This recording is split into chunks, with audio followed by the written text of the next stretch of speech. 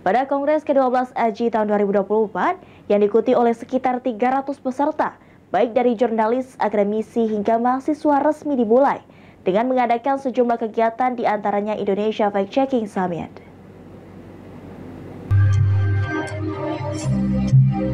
Dalam rangkaian Kongres 12 Asosiasi Jurnalis Independen AJI 2024, di mana Palembang menjadi tuan rumah pada Kamis 2 Mei 2024, dilaksanakan kegiatan Indonesia Fact Checking Summit 2024 dengan agenda talk show, workshop, training, discussion di Ballroom The Zuri Hotel Palembang.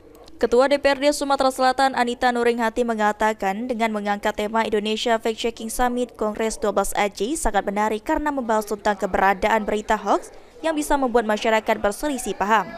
Seluruh kegiatan sebagai uh, kulit hitam maupun media itu semuanya sekarang sudah dipingkai, dipingkai dengan suatu aturan-aturan. Di mana kita tahu tadi uh, gambaran-gambaran yang disampaikan oleh AMSI, AJI maupun dari Alvito sendiri bahwa sebetulnya kita semua tidak mengharapkan yang berita yang hoax.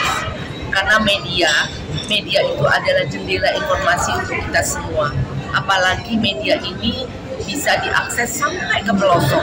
Sehingga kalau berita itu hoax membuat masyarakat tidak uh, mendapatkan informasi yang sebenarnya namun menjadikan uh, informasi yang bisa menjadikan kita berselisih paham.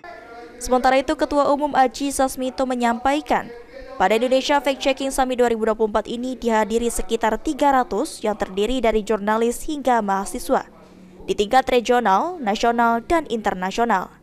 Kegiatan ini bertujuan untuk saling bersolidaritas karena memiliki kondisi sosial politik dan ekonomi yang sama, sehingga bisa menemukan titik temu, ide, dan gagasan dalam menghadapi kondisi ini.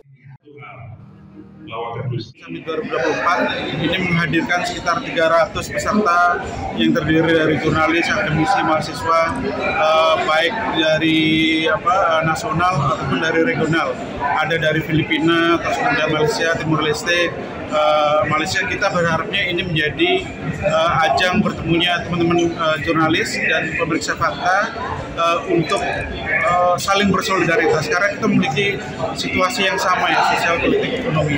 Dan Sandi Pratama Paldi